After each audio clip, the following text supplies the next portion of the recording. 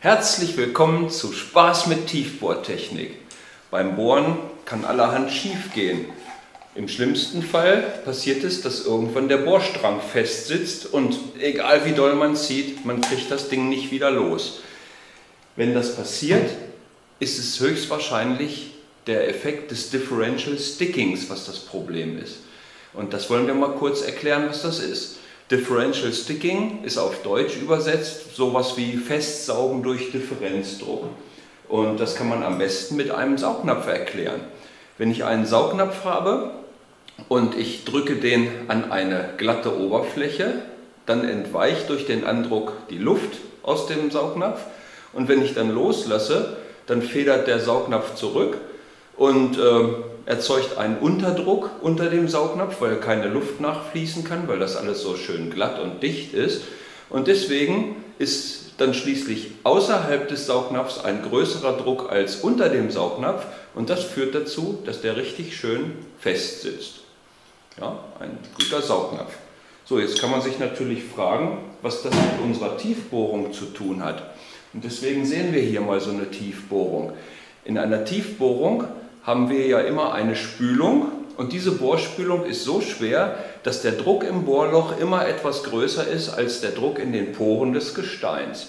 Das ist wichtig, damit aus den Poren des Gesteins kein Öl oder Gas in unsere Bohrung reinfließen kann, solange wir noch bohren. Ja, durch den Überdruck im Bohrloch geht uns am Anfang ein bisschen Spülung verloren, aber die Feststoffe in der Spülung sorgen dafür, dass sich ganz schnell ein dichter Filterkuchen bildet und dann geht keine Spülung mehr verloren. So, und in diesem Bohrloch haben wir nun unser Bohrgestänge. Solange das Bohrgestänge sich mittig im Bohrloch befindet, ist alles okay und nichts kann passieren. Aber früher oder später wird sich das Bohrgestänge auch mal seitlich an die Bohrlochwand anschmiegen. Und wenn wir dem Bohrgestänge dann auch noch ein bisschen Zeit geben und sich so richtig schön äh, in den Bohrfilterkuchen einlagern kann, dann kann es ein Problem geben. Und das sehen wir hier auf diesem Bild. Jetzt haben wir nämlich auf der einen Seite des Bohrgestänges den hohen Druck der Spülung im Bohrloch und auf der anderen Seite, da unten links, da wirkt nur der etwas kleinere Formationsporendruck. Und das ist jetzt genau wie bei dem Saugnapf. Auf der einen Seite ist ein hoher Druck, auf der anderen Seite ein kleiner Druck und deswegen wird das Bohrgestänge an der Bohrlochwand so festgedrückt, wie wir es vorhin hier mit dem Saugnapf an der glatten Oberfläche gesehen haben. Jetzt ist natürlich die Frage, wie kann man dieses Differential Sticking vermeiden? Na gut, wir alle wissen, dass der Saugnapf nur an glatten Oberflächen kleben bleibt. Wenn ich die raue Seite dieser Schale nehme, bleibt der Saugnapf überhaupt nicht hängen. Und das liegt einfach daran, dass an der rauen Oberfläche Luft nachströmen kann und deswegen entsteht unter dem Saugnapf kein Unterdruck und ohne Unterdruck kein Differential Sticking. Der Saugnapf fällt ab. Dasselbe machten wir auch in einer Tiefbohrung. Wir müssen einfach etwas aufrauen.